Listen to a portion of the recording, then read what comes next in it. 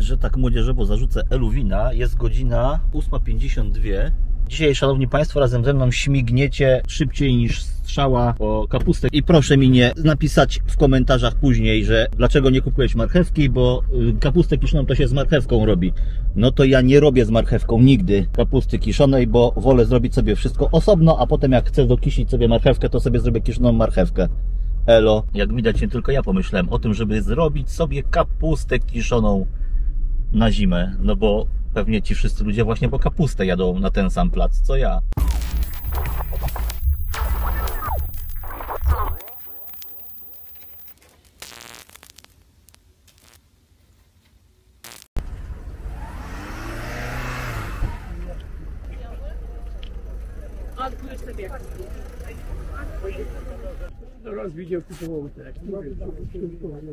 Dzień dobry.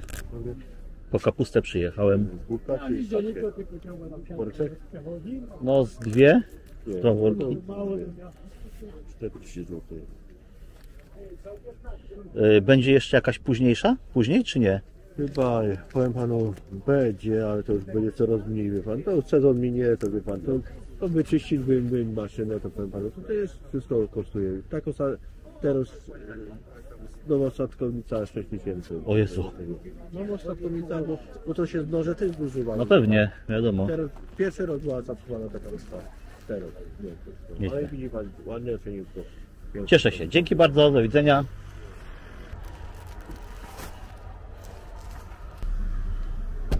No hej, żono, chciałem coś na placu kupić?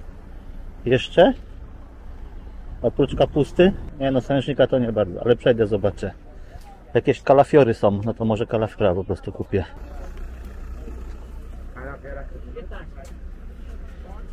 Tu jest dla pana dodechy. Dzięki. A teraz cyk w bezkresne czeluście budynku z połem po sól kamienną. Wiadomo, sól kamienna najlepsza, nie jodowana. Chociaż ja żadnej różnicy nie widzę.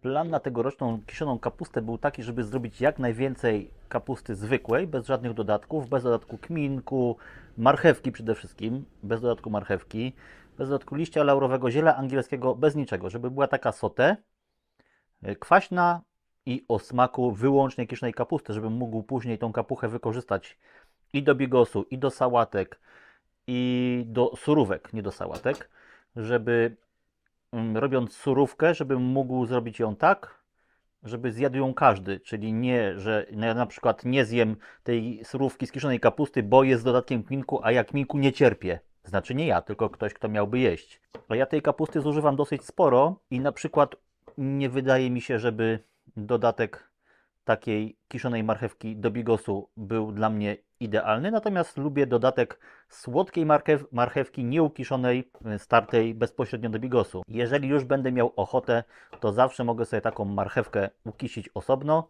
albo jabłka ukisić osobno i dodać później wspólnie razem do gotowania, albo do takiej surówki na przykład. Kilka razy robiłem już kapustę kiszoną z dodatkiem kurek, chyba jest na kanale, jeżeli jest na kanale film z takiej kapusty kiszonej z kurkami, bo ona jest bardzo dobra. Znaczy mi smakuje, ja ją bardzo lubię i właśnie taka ukiszona do surówek też fajnie się nadaje. Mm, Ewentualnie pokroję troszeczkę cebulki, wrzucę do tego, do tej surówki trochę oliwy, y, trochę pieprzu, trochę y, cukru i jest naprawdę bardzo fajne. Podobnie jak robi się taką surówkę z kapusty kiszonej do ryb u mnie w domu. W moim domu rodzinnym również się tak robiło, znaczy moja mama robiła, że zwykłą kapustę kiszoną bez żadnych dodatków dodawała, y, znaczy taką ukiszoną bez żadnych dodatków, dodawała później y, startą marchewkę, pieprz, potem był cukier i olej rzepakowy. I to wszystko się później mieszało, musiało się to chwilę przegryźć i później była, a cebulka oczywiście, drobno posiekana, pokrojona w kwadraciki, przegryzło się i później było naprawdę jako świetny dodatek do zrazów wołowych i właśnie do ryby. Ja przynajmniej tak to pamiętam i staram się u siebie w domu też tak robić. Jak smażę rybę, to właśnie jest z dodatkiem takiej ym, surówki z kiszonej kapusty, z dodatkiem słodkiej marchewki, cukru, pieprzu i oleju. A, bo się rozgadałem na temat surówki do ryby, a miałem mówić o grzybach. No więc ta kapusta z grzybami kiszona również mi wchodzi bardzo jako taka suróweczka, dlatego jej robię niestety trochę mniej, albo może stety, bo w zasadzie to tylko ja ją głównie jem, no i może moja Kasia jeszcze dodatkowo. No i może czasami jeszcze goście, którzy są podejmowani taką surówką w charakterze czegoś e, nowego, czegoś innego, czegoś, czego normalnie się nigdzie chyba nie dostanie, bo raczej w domach się tego nie robi, w restauracjach chyba raczej też nie, ani w barach. Oczywiście link do takiej kiszonej kapusty z dodatkiem kurek zostawiam w opisie. W tym roku y, pozbierałem teraz na sam koniec sezonu, praktycznie na sam koniec sezonu, trochę kurek, trochę opieniek. To wszystko zblanszowałem, bo uważam, że surowych grzybów to do kiszenia to tak średnio. Zawsze je raczej przygotowuję, czyli wrzucam na wrzątek 2-3 minutki, może 4 wrzątek posolony wcześniej i później studzę i ewentualnie mogę dodawać do różnych sałatek do kiszenia osobno samych grzybów i również do kiszonej kapusty. I również w tym roku też tak zrobiłem, czyli część z kapusty odłożyłem, dodawałem soli, dodawałem zblanszowane, przestudzone i pokrojone kurki i opieńki. Nie było ich zbyt wiele, bo i tej kapusty nie jest zbyt wiele, ale jest naprawdę smaczna.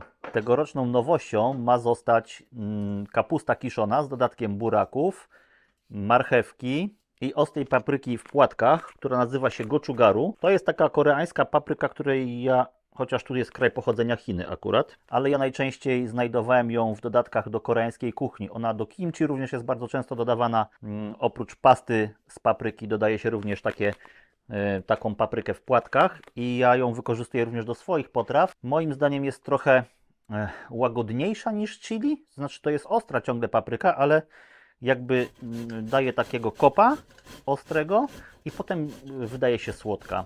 Takie mam wrażenie, dlatego ja jej często używam.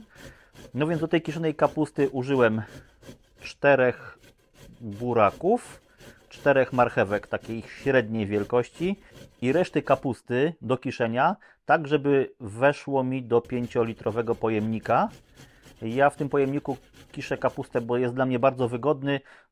On w trakcie fermentacji tej kapusty pozwala na ujście gazów, ale przytrzymuje cały czas pod powierzchnią płynu wszystkie części stałe. Dlatego nie ma problemu z, później z pleśnieniem, kwitnięciem tej wody. Można zamknąć szczelnie, można zostawić sobie lekko otwarte, bo ta pokrywka również ma mm, takie denko jakby w sobie, taką, taki pojemniczek, więc jeżeli gazy zaczynają się zbierać w zamkniętym szczelnie pojemniku, to jeżeli nie zamkniemy rurką fermentacyjną, to ten płyn zbiera się później w tej pokrywce, w tej zakrętce i mogę ją później, ten płyn usunąć. Jeżeli mam na przykład mniej w tym pojemniku 5-litrowym albo 3-litrowym, bo też takie mam, to zamykam taki pojemnik szczelnie, potem zamykam rurką fermentacyjną i wiem, że ten gaz wydostanie się na zewnątrz, natomiast nic się nie dostanie do środka, no i również tlen się nie dostaje do środka, a jak wiadomo,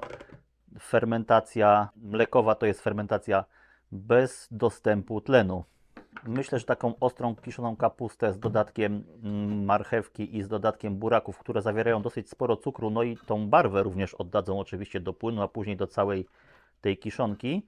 Będzie można również do takich surówek wykorzystać, to znaczy ja będę mógł i Państwo, jeżeli będziecie chcieli wykonać sobie taką kapustę kiszoną, bo ja nie widziałem raczej takiej nigdzie na rynku. Oczywiście jest z papryką, taką świeżą, krojoną, to taką kapustę widziałem, natomiast z dodatkiem buraków, z dodatkiem e, suszonej papryki takiej, żeby, która spowoduje to, że ta surówka później będzie również ostrzejsza, mm, nawet bez żadnych ekstra dodatków. Że taką surówkę będę mógł później wykorzystać sobie do takich bardziej jałowych potraw, Surówka będzie dostarczać i kwaśności, będzie dodawać również ostrości, być może również trochę słodyczy. Jeżeli dodam troszeczkę cukru do tej surówki, zakładam również, że przez dodatek warzyw, które mają dosyć sporo cukru, ta kiszonka będzie trochę bardziej kwaśna, no bo cukier zostanie przez bakterie przerobiony na kwas mlekowy, no i będzie dla mnie bardziej w odczuciu kwaśna. Zobaczymy, jak się okaże po już całkowitym ukiszeniu. Myślę, że po jakimś czasie przełożę z tego dużego pojemnika do małych słoiczków, być może również zapasteryzuję. To też jest fajne rozwiązanie. Później takie ukiszone warzywa nie pracują już i mogę je śmiało odłożyć sobie w ciemnym miejscu i używać prawie przez cały sezon. Wiem, że nic mi się nie utleni i później ta barwa również będzie taka sama intensywna jak na początku. Często zdarza się, że taka kapusta kiszona pod koniec sezonu już robi się taka brunatna, brązowa, właśnie dlatego, że już ten ochronna kołderka z dwutlenku węgla przestaje działać, przestaje chronić tą kapuchę i ona brunatnieje przez to, że się utlenia to wszystko i często też zaczyna pleśnieć. Więc ja taką dużą ilość, jak robię tej kapuchy, to lubię później przełożyć sobie do takich słoiczków i później do lodówki wsadzić albo do najzimniejszego miejsca w piwnicy. W czasie tego najintensywniejszego kiszenia ja oczywiście mm, całą tą mm, pulpę z kapusty kiszonej i z warzyw przebijam. Najczęściej łyżką drewnianą po to, żeby odgazować mm, z tych dolnych warstw w tą kiszonkę. Uważam, że jeżeli tego nie będę robił, to po pierwsze mm, będzie się ten płyn cały czas wydobywał, będzie chciał się wylewać z naczynia, ale druga sprawa, moim zdaniem ważniejsza jest taka, że ja zauważyłem, że jeżeli tego nie robię, to te kiszonki są hmm, takie gorzkawe, czyli w czasie kiszenia, jeżeli nie odgazowuję z dwutlenku węgla, z tych gazów, które się chcą wydostać z tych, pod, y, z tych dolnych warstw, to ta kiszonka zostaje później mm, taka bardziej gorzkawa. Więc polecam takie przebijanie czymś, jakimś szpikulcem, właśnie po to, żeby odgazowywać te dolne warstwy, po to, żeby ten płyn się nie wylewał, bo on jest bardzo dobry i zdrowy dla naszego organizmu, oczywiście jeśli nie pasteryzowany. No i dodatkowo moje kiszonki nie wychodzą z takim delikatnie gorzkawym posmakiem.